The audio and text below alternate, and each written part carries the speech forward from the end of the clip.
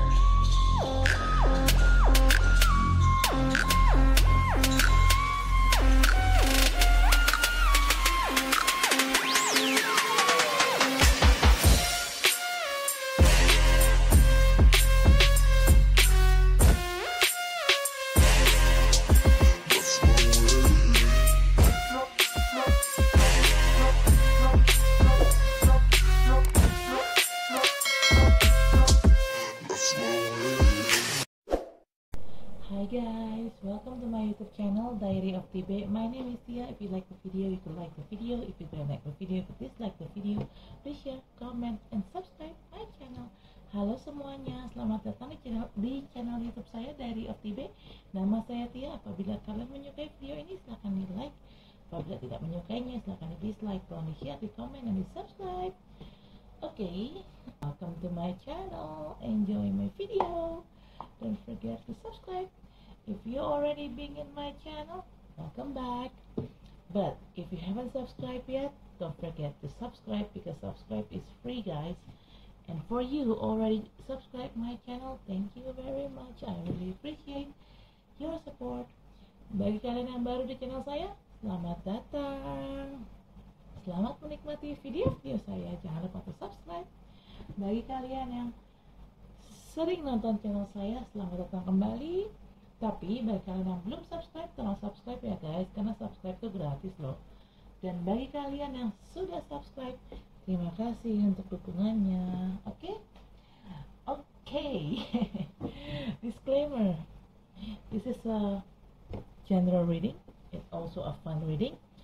It may about your energy or it could be about your present energy or vice versa because energy is interchangeable in here i collected many several random energy from different of people so this reading it could resonate with you or it may not resonate with you just take out what resonates with you if it's not resonate please check your sun moon rising and venus sign and in here i don't read card in reverse i only um, take the card. When I shuffle this deck, there will be a jumping card. That's the card that I'm going to be take to be read.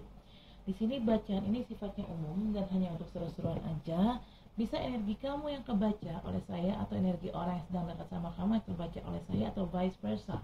Karena energi itu sifatnya terbolak dan terbalik ya. Karena saya di sini menarik energi secara acak dari beberapa orang yang berbeda jadi re- readingan ini bacaan ini bisa nyambung sama kamu bisa juga nggak nyambung sama sekali sama kamu mungkin bacaan ini bisa disesuaikan saja dengan situasi yang ada di kamu Em, kalau kamu masih nggak nyambung juga mungkin kalian bisa cek sun moon rising dan venusnya kalian. Saya di sini tidak baca kartu terbalik dan saya di sini hanya mengambil kartu saat saya kocok kartunya. Ada kartu yang lompat kartu itulah yang akan saya ambil saya bacakan. Oke saya baru posting bukan baru sih lagi on the way posting cancer. Eh, sekarang saya mau bikin Leo general reading. Um, um, cancer is it's a on process to be posting on a YouTube channel on my YouTube channel but I'm going to make Leo love reading okay? Let's get started. I'm going to grounding the energy first. Kita mulai tapi saya akan grounding dulu energinya Leo ya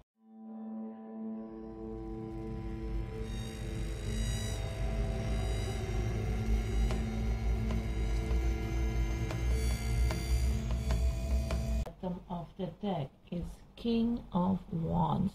Alright. Hmm.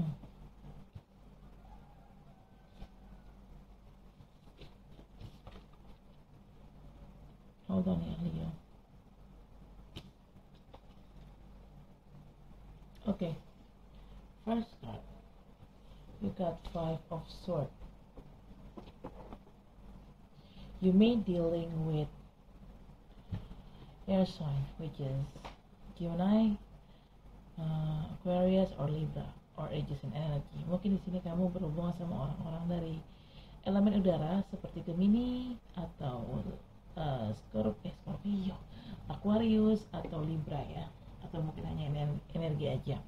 But in here, Six of Swords, it's typical kind of thing that it's it's so unwise choices unwise choices this person also greedy this person never satisfied with what they what with what they have. Okay? This person always want to be the winner. This person is quite a bit selfish. Okay?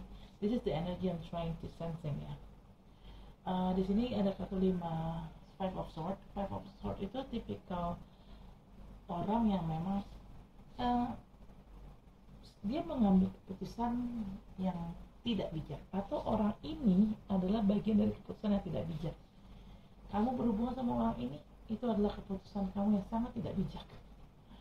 Karena orang ini sifatnya orang ini nggak mau ngalah orangnya keras sens- uh, apa namanya selfish tuh egois lah orangnya di sini agak serakah dan uh, dia nggak puas dengan apa yang dia punya. Dia selalu minta, minta dan menginginkan lebih lebih dan lebih. Dan orang ini tipikal orang yang apa maunya uh, dia yang menang lah jatuhnya. Jatuhnya kayak self centered ya. Orangnya kayak nggak pedulian gitu loh. Maunya tuh apa apa dia apa apa dia gitu. Maunya dia yang dimenangin gitu kan. Padahal sebenarnya hidup yang kayak gitu juga okay this person typical kind of self-centered person. Okay.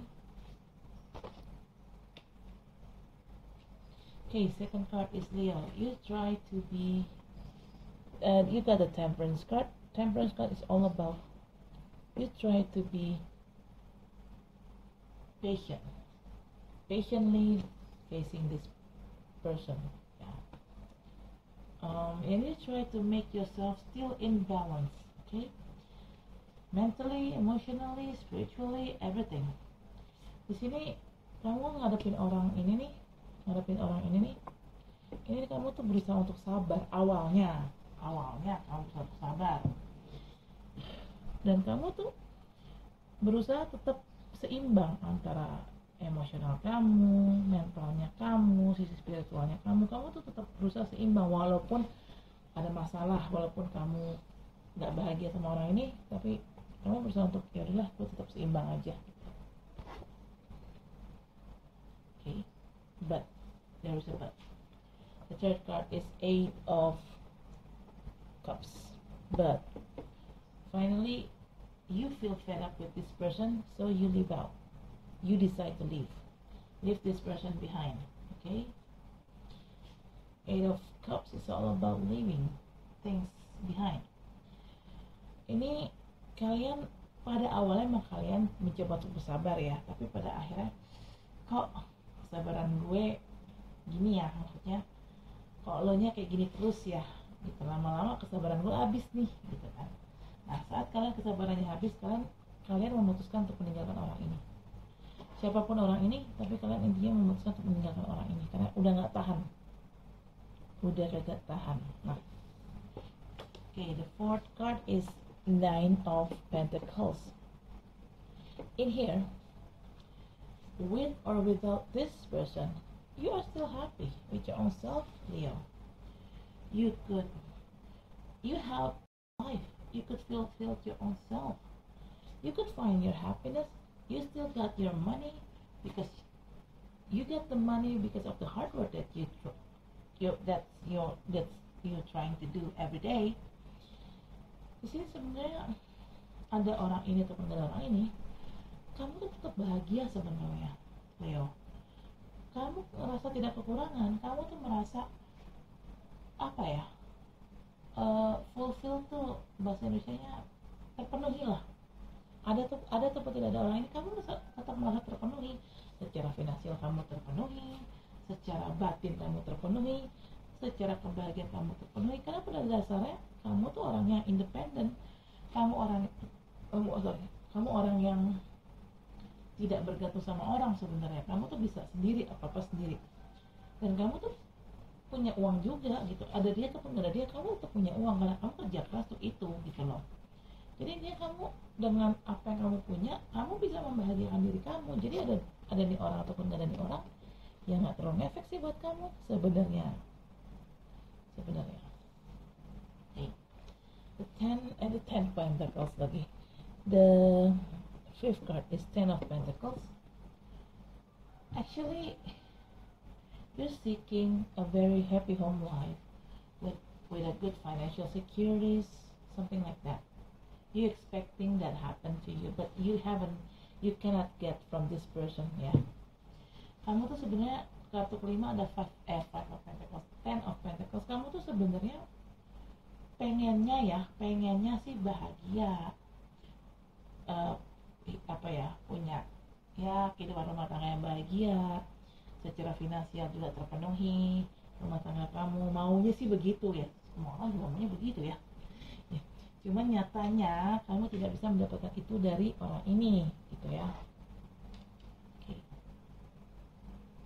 bottom of the deck is king of wands you may dealing with another fire sign it could be leo or aries or sagittarius and this person is quite fiery passionate and very tempting very hot, very yeah impulsive, impulsive, really really impulsive, aggressive also.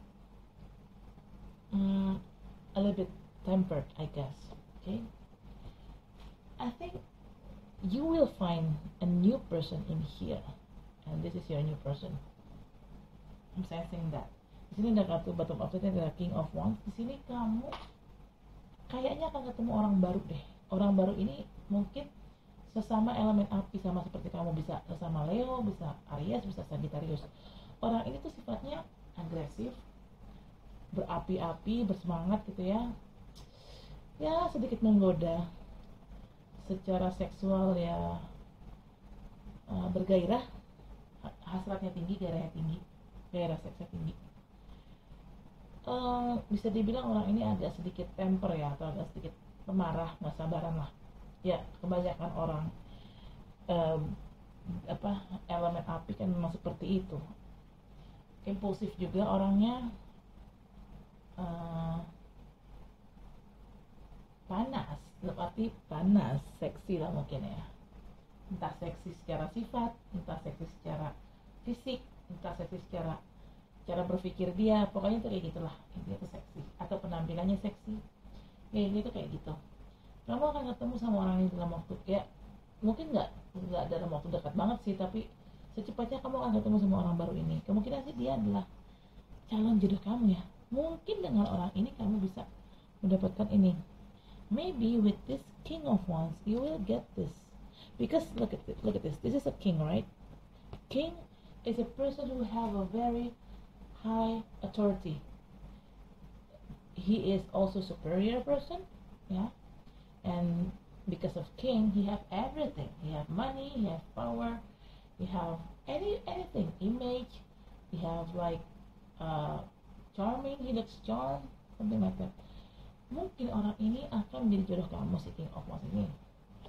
Dan dengan orang ini, kamu akan bisa mendapatkan ini.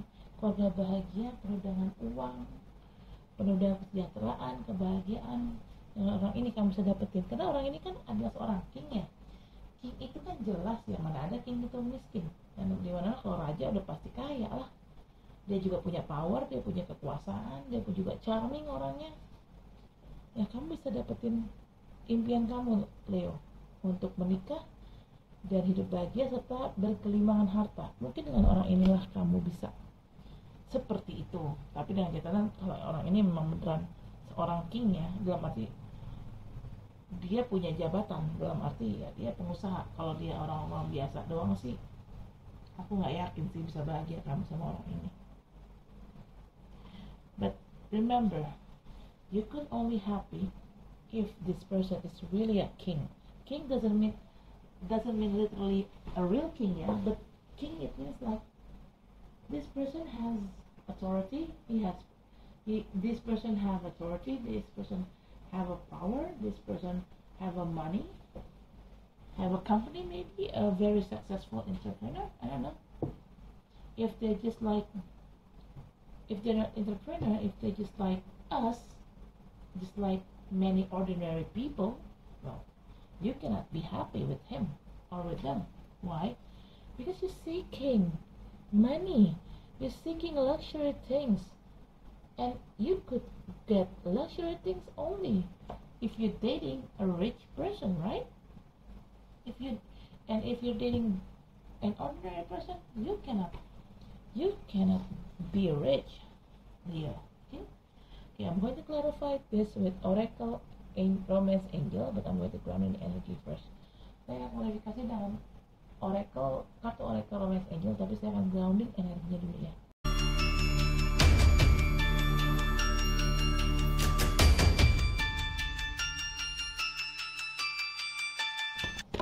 Okay.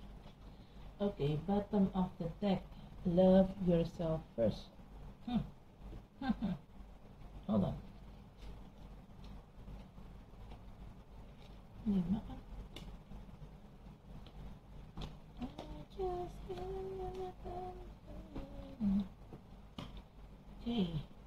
First card. Pay attention to a red flag. This the sign are cautioning you. Be careful with the red flag in your love life. This could be a warning. This red flag, it could be a warning for your love life, Leo. Hati-hati dengan bendera merah di sini. Bendera merah di sini adalah suatu peringatan dalam suatu hubungan kalian. Akan ada sesuatu atau mungkin sudah terjadi sesuatu. Akan ada sesuatu yang terjadi atau mungkin sudah terjadi sesuatu itu. Dan sesuatu itu, dan sesuatu itu adalah peringatan ya dalam hubungan kalian jadi kalian harus hati-hati apa pun itu ya apa pun itu second card is religious factor your love life is influenced by your religious upbringing and spiritual practice. Maybe you and your person have a different of faith or maybe if you guys have the same religion or you have the same religion but maybe you have a different of point of view of faith maybe. Or maybe it's a divine timing. Why you became like this? Why you um first of all you got a toxic people then you moved on and then finally you find somebody that worth in you. Maybe it's a divine ini kamu ada kartu kartu kedua sebagai religious factor. Mungkin ada faktor perbedaan agama atau mungkin kamu sama orang ini agamanya sama tapi mungkin cara pandang tentang agama itu beda gitu ya atau mungkin. Kamu kan di sini pertama kamu ketemu sama orang yang toksik terus kamu coba bersabar tapi ternyata orang itu terus-terusan ya menyakiti kamu akhirnya kamu udah nggak tahan kamu pergi. Dan kamu tuh menginginkan menikah dan berkelimpahan harta tapi ya menikah itu bukan sekedar menikah aja bukan sekedar bahagia aja tapi juga berkelimpahan harta. Dan akhirnya kamu ketemu nih sama orang baru ini nih gitu siapa pun orangnya ya kemungkinan itu adalah skenario skenario Tuhan. Kenapa? Skenario Tuhan ya in, mungkin ngetes kesabaran kamu. Dan memang jalan hidup kamu seperti itu kita nggak pernah tahu. The third card is best life relationship. You have known each other before. Um actually maybe I think I'm sensing this is with new person, yeah, not with the old one, not the not the with the previous one. Uh, maybe you and your new person have known each other before in your past life. It means past life here before you became you and before them they became them. Okay. Okay. Mungkin in- aku sih lebih sensing ini past life relationship ini adalah orang baru kalian bukan orang yang lama ya bukan orang yang toksik itu tapi orang yang baru yang akan datang dalam hidup kalian mungkin kamu dan orang baru ini sebenarnya udah saling kenal di kehidupan masa lalu. Kehidupan masa lalu itu dalam arti bukan kehidupan sekarang tapi kehidupan masa lalu dalam arti sebelum kamu menjadi kamu sekarang sebelum dia menjadi dia yang sekarang. Jadi kalian mungkin pernah reinkarnasi dan di dalam reinkarnasi kalian di dalam kehidupan lama kalian kalian saling kenal atau mungkin kalian saling berhubungan gitu. Jadi intinya akhirnya sih nyatu lagi nih gitu nyatu lagi kalau memang ini ya past life ya. Okay. the fourth card is playfulness. To recapture romance allow your inner youthful spirit of fun to shine. Yes. Leo. Playful being playful. Maybe it's one of the primary reason why you and your new person could quite match one to another. Mungkin kamu dengan orang baru ini kenapa cocok? Mungkin karena kalian tuh sama-sama seru orangnya sama-sama playful gitu. Dan hubungannya juga playful hubungannya juga seru. Jadinya kenapa kalian cocok gitu ya? Nah kan banyak divine timing. The fifth card is worth waiting for. Divine timing is that word in your love life. Yes Leo. What happened now? What happened before? What happened next? It always be divine timing. So be patient, waiting for this to come ya. Apa pun yang terjadi hari ini, terjadi kemarin dan terjadi selanjutnya atau uh, ke depannya, ini kayaknya memang udah diatur dengan oleh Allah dan semesta, oleh Tuhan dan semesta. Kenapa jalan hidup kamu kok begitu banget gitu loh. Jadi ya udah sabar aja. Okay, bottom of the deck is love yourself first. Leo, mm, I think this will be happen if you love yourself first. Yeah, in here, your self-respect makes you more romantically attractive. Yes, doing some like self-love, self-care. How can you love somebody perfectly if you don't love yourself first? That's the key. Love yourself first, oke? Okay? Di sini kenapa bottom of the deck ada kartu love yourself first? Karena gimana kita bisa mencintai seseorang apabila kita tidak mencintai diri kita sendiri? gitu kan kita harus mencintai diri kita sendiri itu kuncinya gitu. Sebelum kita mencintai orang ya kita harus mencintai diri kita sendiri Leo. Gitu guys. Jadi memang kalian harus menerapkan atau mempraktekkan yang namanya self love self care untuk diri kalian sendiri dulu ya. Baru nanti ini semua akan terjadi. Kalian ketemu dengan soulmate kalian dengan jodoh kalian. Gitu Leo. Oke okay, Leo. I guess that's it for now. Thank you for watching my video. Don't forget to like comment, share, and subscribe my channel. I'll see you next video. Bye. Oke okay, Leo, saya rasa cukup sampai di sini. Terima kasih telah menonton video saya. Jangan lupa untuk di like, di comment, share, dan di subscribe channel saya. Sampai ketemu di readingan selanjutnya. Dadah. Bye.